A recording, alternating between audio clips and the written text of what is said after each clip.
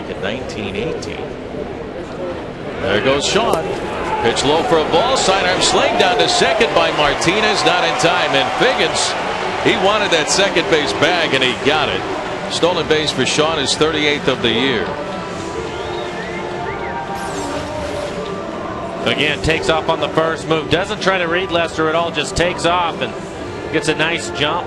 Martinez trying.